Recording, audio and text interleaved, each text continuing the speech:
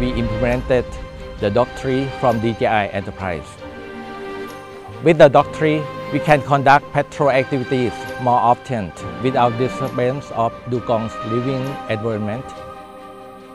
Based on the timetable, we plan three missions during the high tide and another three missions during the low tide per day using FlightHub 2 to search for dugongs.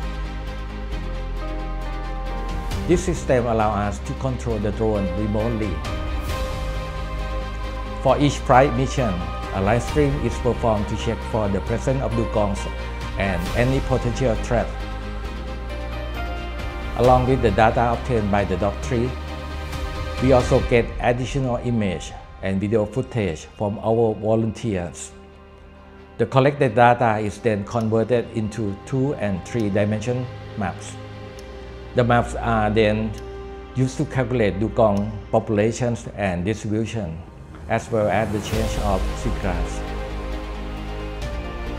The Dock 3 are also used to monitor marine and coastal resources such as seagrass, coral, and mangrove. We also found that the Dock 3 system reduced the cost up to 20 times compared to boat operation. As time go by, we are very satisfied with the Dock 3 system. There is zero mortality of dugongs in the area, and also the threat is dramatically reduced. We expect to implement this system in other dugong protected area in the future.